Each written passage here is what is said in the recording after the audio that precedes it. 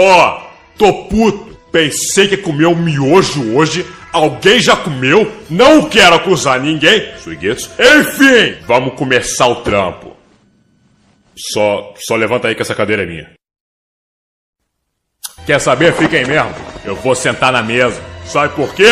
Porque eu sou o chefe. Eu faço o que eu quero. O Pen morreu. Supera. Mas eu nem ligo. Supera.